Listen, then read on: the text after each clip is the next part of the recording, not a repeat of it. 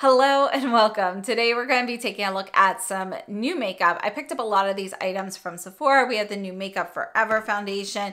We have some lipsticks. Everything here is a first impression, except I have used the formulas of the Sephora collection items before, and the mascara we're featuring today is not first impression. I've been using this for several days now. So overall, let's go ahead, have some fun with a quick get ready with me. I'd love to know your thoughts.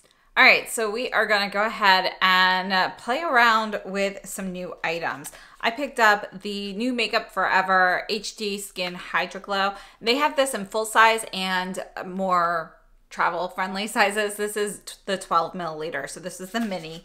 And then I picked up a Sephora lipstick. Actually, I picked up two, so we'll play with one of those. I got one of the new Milk Jelly Sticks. So these are the Cooling Water Jelly Tints. I have the shade Splash. And then I picked up a new Sephora Luminizer and a new contour because this shade looked like it could be really good. So let's go ahead and just see how these are. Again, these are going to be first impressions, but I do have a mascara I want to share with you that is not from Sephora, but it, um, you know, it's actually from Queen Musia. They sent this to me after they saw my lipstick video, and I have to say, I love the mascara. Like, this is a new favorite. So let's go ahead and get started. All right, so this is my bare skin. I actually just had hot chocolate, so I'm a little flushed because I'm pretty warm. We're gonna start off with a primer. I'm using this Chanel in the Icy Beige shade. So I'm gonna go ahead and put this on, focusing primarily on my cheeks. Just put a little bit the rest of my face, but I want most of that shine to be here. And then I'm actually gonna add a little bit of the Frosty White just under the eyes. So here's the Frosty White. Just gonna get a tiny bit here and put this on right underneath. Just focusing where I want it a little bit brighter here. And it's honestly doesn't make a major difference once you have the foundation on top, but I feel like I do notice a subtle difference. For eyes, I'm gonna take the Pat McGrath primer and this is gonna be in, well, it's in the shade clear and just gonna add a little bit of that here. And I like this primer. I think it is a nice eyeshadow primer. It's uh, one of the more moisturizing ones, but it still works to prolong the color, prevent some creasing. However, if you have really oily lids, I do think that there are others that are stronger than this one at preventing creasing. But for my skin right now, with the change of seasons, it's a little bit drier. This one works really well for me. So for the Milk Hydro Jelly Tint, I want to try it underneath the foundation and on top. So we're gonna start with this. We'll put this on the right side underneath the foundation. And I picked up the shade Splash. You can see we have plastic packaging here. And I have to say, you can see it's actually a thin plastic, which I appreciate because we don't have too much product waste then. And then here's the stick. So this actually reminded me of the, I forget what they were called, but they were from Tarte. I used to use them so many years ago. And that's what it made me think of when I first saw it. This actually feels a little bit, I, I would say a little bit more liquidy upon first swipe than the Tarte ones did. They, they had a little bit more resistance rubbing it onto the skin. So let's just go ahead and then you can see how lightly you can get this on or you can build this up. So let's build the right side up. Let me bring you in just a little closer. All right, so this is on top of the primers and you know, I'm gonna actually take a brush. I'm gonna take the Sonia G mini base just to kind of blend that a little bit and let's put some on the brush itself.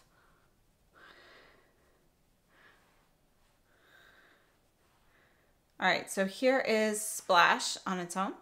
Now let's take a look at the foundation and I picked up shade 1R02. If you're looking at purchasing one of the smaller sizes, they do not have their full shade range. It's meant more, I guess, as a tester to kind of get an idea of what shade works for you. I always have a hard time finding the right shade in Make Up For Ever. And so I went with the lightest cool shade. I have to say it looks a little bit deeper than it did online. So let's start by putting this on top of the blush and I'm using the Rephr 31. This is one of my favorite foundation brushes. So on top of the jelly tint, we'll just kind of pounce a bit. You can see we have pretty sheer coverage here with the foundation. Let's get a little bit on the brush here.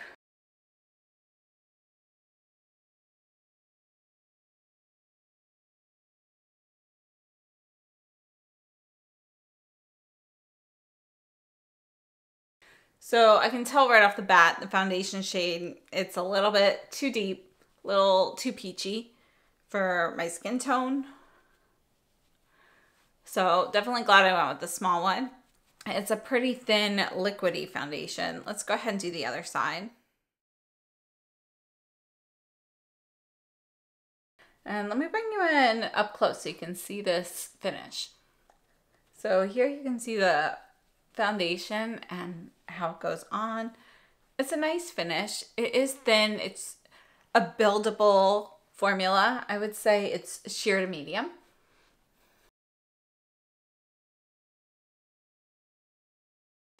So here's the side with the blush, here's the side without, and here it is from a, a distance. So you can see overall, it is a nice finish. You've got kind of this subtle dewy finish to it. And I think it's a pretty finish to it, but the color is not the perfect match for me. You can see it is gonna be a little bit yellow. It's more of that peachy with a little bit of yellow, not quite orange, but a little peachier. So uh, just something to note there. Now, before we move on to the jelly tint, let's go in with a contour. And I wanted to try this both as a cheek product as well as on the eyes today. And just one thing to note, the Sephora products, they do come taped down here, so they are sealed in that sense. So if you get one that is easy to open, I wouldn't purchase that one.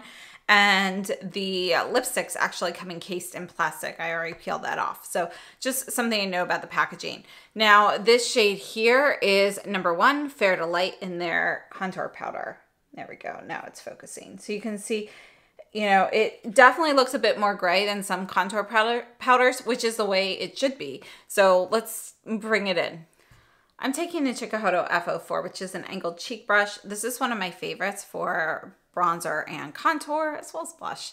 So just gonna get a little product here and let's just bring it in here. You can see we definitely have gray right off the bat. Let's do this on the side without the blush so we can really see the color isolate it.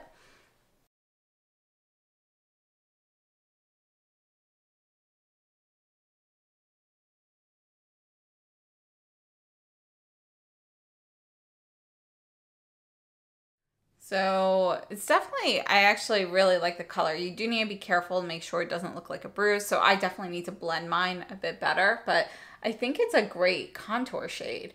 And I find that it's pretty hard to find a good contour shade, so I really like it. I'm just gonna take my foundation brush and just tap over it a little bit just to kind of soften it, blend it in with the skin, and there. So you can still see it, but it definitely looks a bit more subtle. All right, so here's the contour up close. Here it is, the side with the jelly tint. Let's go ahead and put this on very lightly over here. And when you touch it, it feels, there's a little tackiness. It's a little, little sticky, but it does tend to kind of go away. I wouldn't say it sinks in completely. Can feel a little bit, even with the foundation on top, I can still feel a little bit of the tackiness from the jelly stick because I did put it on so thickly. I would say they feel about the same. I think both ways look good, but I actually think I like it put on sheerly on top of the foundation just a little bit more because I can use less product. Now, this does come with a plastic cap here in addition to the lid. So I would recommend keeping this as well to just kind of keep it nice and fresh. So here's the jelly. Let's move on to the highlighter and then we'll move on to the eyes. So the highlighter is going to be shade 06 Rose Quartz. And I just thought it looked really pretty and it wasn't too pink, it wasn't too champagne, didn't look too gold. Look at this. So let's go ahead and just swatch this here. I feel like the swatch is a little bit hard to see up so close. Doesn't seem to be focusing well. We'll take a look at this again in a second. Now for highlight, I'm taking the Nikki LaRose N14. This is the BK Beauty collaboration. We'll go into the highlight with this. And, you know, I just realized I didn't put on any concealer today, but mm, I think we'll just skip it. You can see that can definitely be pretty luminous there.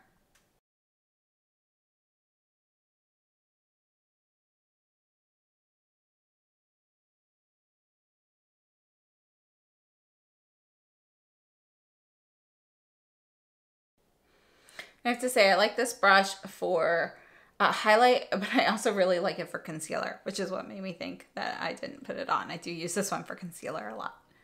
So here's the Rose Quartz from a distance.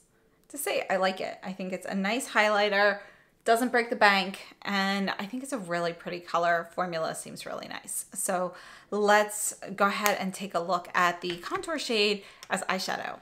So I think I probably want to pair the contour and the highlighter together just to get something a little bit different. And I'm going to take this Sonia G Traditions brush. This is the T6. It's the large oversized one. And we are going to go ahead and put on the contour shade with that, kind of buff it in. So again, I have that Pat McGrath primer on and just kind of getting a nice soft layer of this on here. This is a great all over shadow brush. Very soft. I have to say the persimmon dye, it's softer than I thought. I have some other brushes with this dye and these actually feel a lot softer than I expected based off of other brushes that I have and I really like them. I've been reaching for these a lot because these brushes have really great product pickup they actually pick up a little bit better than your regular Goat Hair brushes. So this is a contour shade, but let's apply a slightly deeper layer of that and then some shimmer. So I'm going to take the Sonia G Lotus Builder brush, and this is just a flat shader brush, but it really helps to deposit a stronger wash of pigment. So I'm just going to go over the lid space there and make that a little bit darker.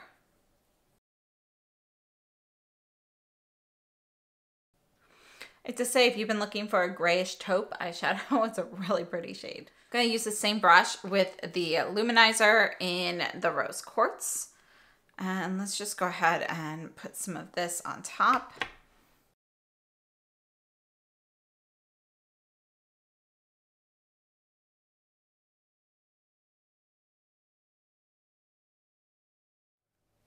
And then I'm just taking a really soft pencil brush. You can see this is pretty soft and very flexible. This is the KZ08 is a discontinued brush, but uh, it's one of my favorites. So we're gonna go into the luminizer for the inner corner and just add a little bit of that there. And then we're going to add a little bit of the gray shadow right under the eyes.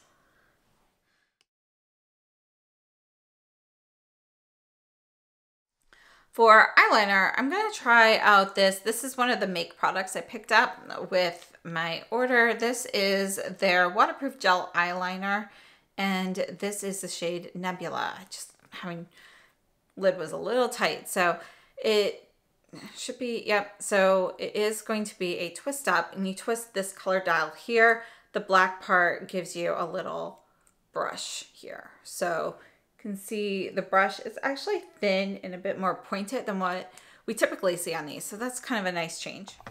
So I'm just gonna go ahead and get a little bit of this, oops, super smooth.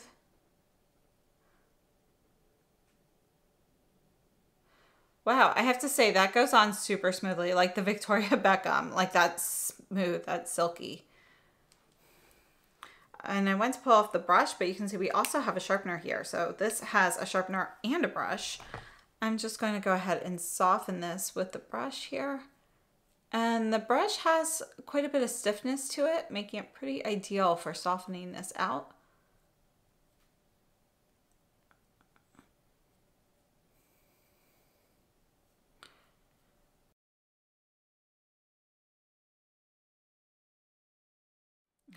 Then I'm going to use the Surratt Lash Curler and then we're gonna go ahead and go in with the Musia mascara. And I have to say, I'm really, really loving that mascara.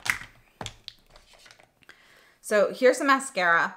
If you are looking for soft, feathery lashes, this is the mascara for you. If you want like a ton of uh, volume and so forth, this isn't that. This is going to give you that soft, feathery look. You get some volume with this. You get some length with this, but really it's how defined and feathery your lashes look. And that's what I love about it. Look at that.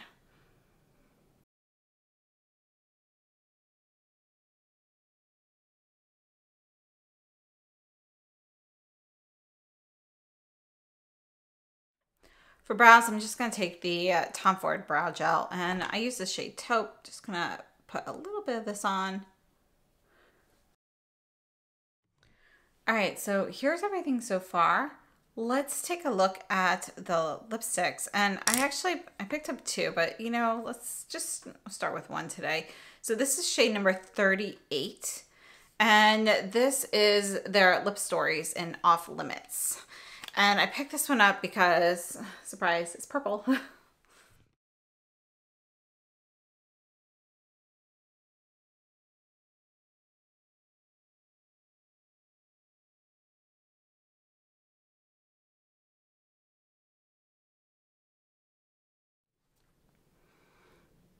So this is the lipstick.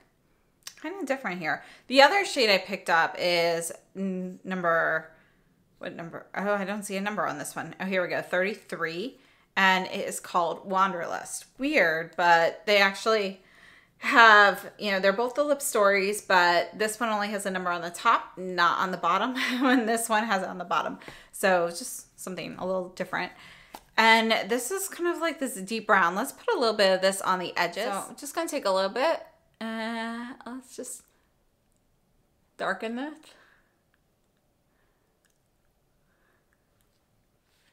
So just to take my finger and kind of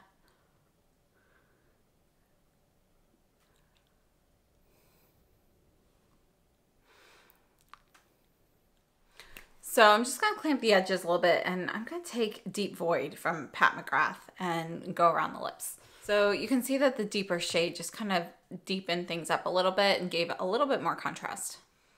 All right, so uh, this is the final look let's take a look at some swatches. So I have to say, the Make Up For Ever foundation did not oxidize as much as I expected it to. So I think the color actually, you know, it's a little bit deeper than what I would like, but it's not as dark as I thought it was initially because it really kind of stayed pretty much the same. So this is the shade and this is 1R02. Let's just do a quick comparison. We're going to take a look at the Chanel Ultra Le Teint in BD01. This is one of my go-to shades. And you can see that this is going to be lighter, more ivory. We have Clé de Peau in I-10. And again, this one's going to be a bit lighter and more ivory as well. This is really my perfect uh, foundation shade. But this one kind of reminds me of 00C Swan from Sisley in the Sisley cushion. So let's go ahead and put this one right here, right next to the Make Up For Ever. So you can see the Sisley is actually a little bit more yellow, whereas the Make Up For Ever is a little bit peachier, but they do have a similar depth of color. So just a few comparisons, hopefully that helps. As for the finish and the formula, I think it's a really nice formula, really nice finish. So again, I purchased the mini, which only comes in select shades, but they do have a full range of shades in the full size. And this is the HD Skin Hydra Glow. So the one I have is 12 milliliters. It's made in France and we have a six month shelf life upon opening. Now, as for the jelly, this is just a fun product. You know, I think makeup should be fun. You've got makeup for like every day that maybe you don't want to have to think about, but every once in a while you want to play around with some makeup. So this is the shade Splash. And again, we swatched it earlier. It's not really, I would say this sheer layer here, I can't feel this on my skin. This is basically sunken in.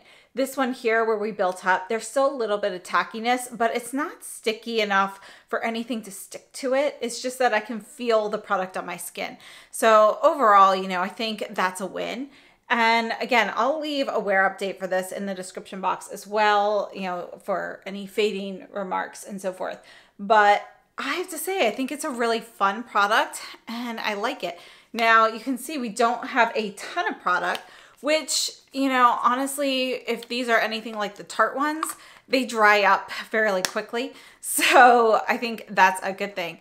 So we have five grams of product. It has a six month shelf life upon opening and it's made in the US. Now, according to Milk Makeup, it's a sheer jelly lip and cheek stain made with cooling seawater and aloe for a long lasting wash of color. And I have to say, I think it feels really nice. Now, from my recollection of the Tarte ones, they were a little bit stickier, a little tackier than these. And uh, yeah, I think this is definitely a nice like updated version in my opinion. I think it's really cute, really fun. Now let's take a look at the Sephora contour shade. So this is contour in 01, Fair to Light. And it's just a nice gray. And there's a little bit of a taupey vibe to this. It's kind of like a grayish taupe, which also makes it great for eyeshadow. So this is it. I think it's a really beautiful contour. The formula is nice. It's a basic powder formula there. Not super powdery though. Uh, it definitely kind of stays where you put it. You can see there's no like kick up or anything in the pan. So overall, I think it's a nice product. And then we also have their colorful luminizer in shade number two, Rose Quartz. And this, we swatched it here. Just go over that a little bit. You can see it does have a little bit of a champagne vibe to it with a little bit of a warm rose to it, but it's pretty neutral. It's almost like, um, I would say candlelit with soft rose mixed together. And again, I think these are nice luminizers. And you have, you can see here, have that focus. You can see that the luminizer itself is going to be shimmery, very finely milled, but we don't have chunks of glitter. So, uh, you know, it's shimmery, but not glittery per se. So I think overall it's very nice. You can make it pretty blinding, but you can also wear it a little bit more subtly. Now let's take a look at the lipsticks. Now I do occasionally pick up some of the Sephora brand lipsticks just to, you know, have fun with some different colors. Now these are colors I wouldn't wear a ton of in general, but they looked really fun. So I wanted to try them. So this one here is shade 33. And let's put that here. And you can see it's going to be kind of this deep reddish eggplant, almost like if you had a deep plum, like that reddish plum look, but darker. Like mix that with like currant or blackberry even. And you mix those together. So this is really deep. It's more of a burgundy eggplant mix. So that was shade 33, which is called Wanderlust. Now 38 is called Off Limits. And this is their lip stories, which are mattes. And this one here is going to be more of a dusty purple, uh, you know, kind of, uh, there's a little bit of mauve in here. And even though these are matte, they're really going to be more of a satin matte finish. You can see you don't get that dry matte look. It actually has a thin sheer, more of a silicone texture on the lips. Very lightweight, very comfortable though. Now, I did want to compare them to the Dries Van Noten purple lipsticks that came out last year. So this is the really deep matte ultraviolet shade. You can see right away that this is very different. This is like your true grape purple.